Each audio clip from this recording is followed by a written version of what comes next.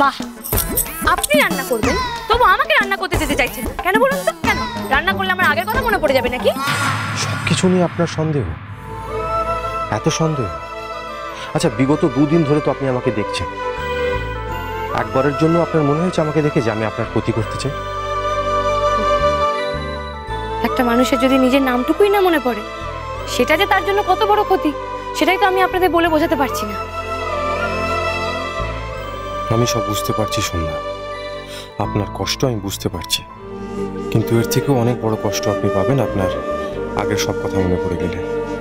একবার সে কষ্ট পেতে আমি আপনাকে দেখেছি আর যে আমি দেখতে পারব না। এই যে ভণ্ডবাবু আমি স্নানে গেলাম। স্নান সেরে উঠে আমাকে রান্না করতে যেতে হবে। আপনি বরং এক কাজ করুন। বাড়িতে সবাইকে বলে দিন সবাই যেন তৈরি থাকে। আর সবাই একসাথে খেতে বসবে বুঝেছেন? যে হবে কে জানে?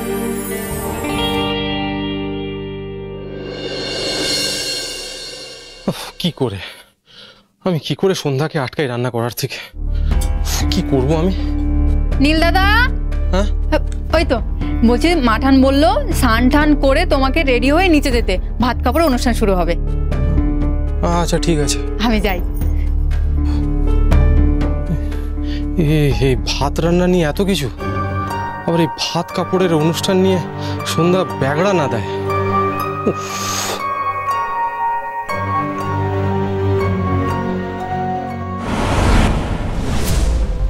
কিন্তু ও ভাত কাপড়ের অনুষ্ঠান তো শুরু করতে হবে।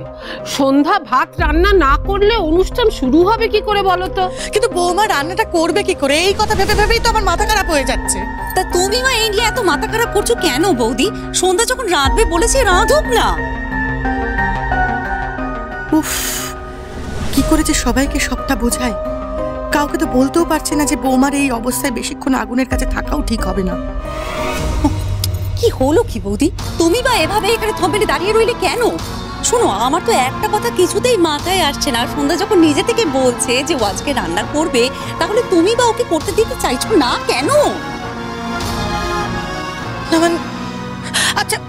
তোমরা তো জানো হ্যাঁ? যে বৌমা রান্না করতে জানে না। জ্বালা তো সব রান্না সেরেই ফেলেছে। আমি বরং রান্নাঘরে যাই। বৌমা আসার আগে ভাতটা বরং বসিয়ে দিই। এই না গো না সেটা করলে হবে না সেটা করলে হবে না। এই যে নিয়ম।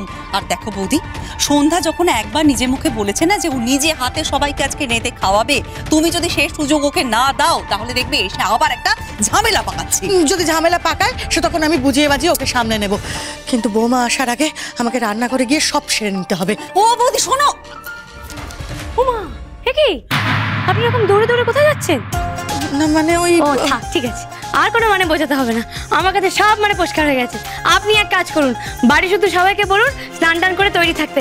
আমি চললাম ঘি ভাত রান্না করতে। না বৌমা বৌমা শোনো আমার কথা শোনো দাঁড়াও। চলো পিসি চলো মজা হবে। সন্ধ্যা তারা সোম থেকে রবি সন্ধ্যে সাড়ে সাতটায়। স্টার জলসায় ও ডিজনি প্লাস হটস্টারে।